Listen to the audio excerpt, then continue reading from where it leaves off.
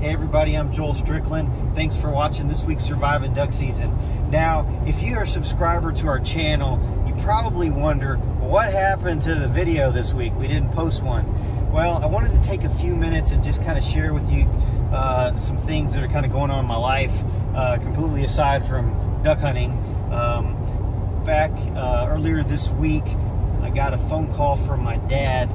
He said, I'm in the hospital, I broke my foot your mom is on an ambulance going from this hospital to another hospital because she had an episode and they checked her out and they said that her aorta was rupturing and they were going to do an emergency surgery at a UAMS um, hospital in Little Rock. And so they rushed my mom there. I got up out of bed and put some clothes on and drove to Little Rock it was a very stressful situation, as you can imagine.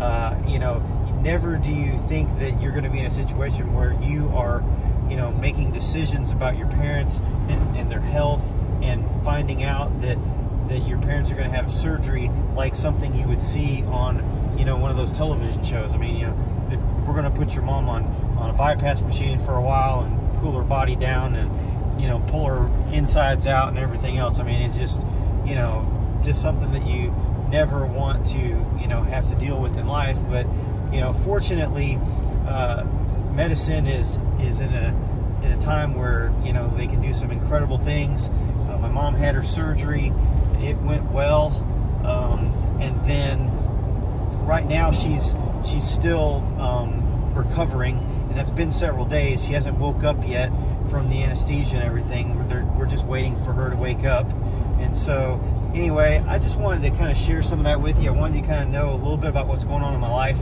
Um, you know, I ask you to pray for for us about that.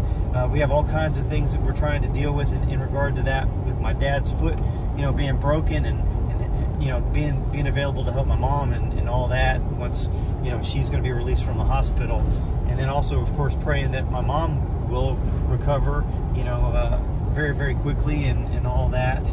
And so, you know, again, we, we appreciate your prayers. You know, share this video with, with some people that you, you know, think would, would pray for us. We would really appreciate that. Uh, now, today was opening day of duck season in Arkansas, and uh, that's part of my livelihood. Me and my wife and work at a, at a lodge in Stuttgart during hunting season.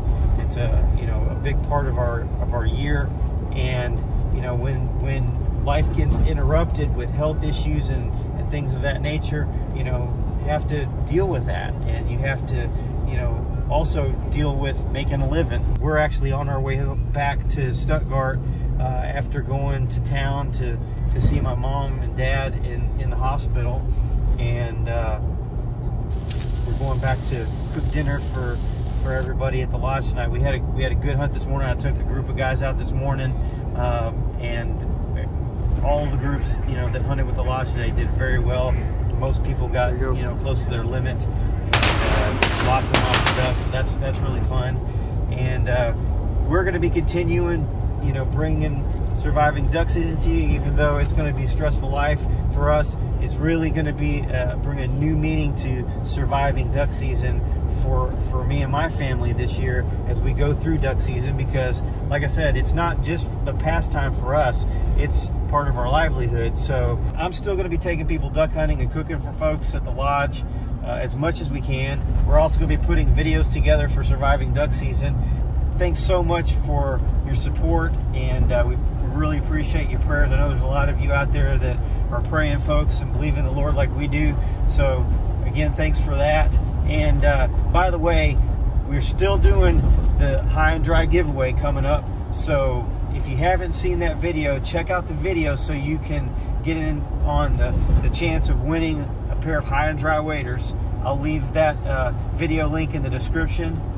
And uh, anyway, make sure you watch some of our other content. And until next time, good hunting and God bless.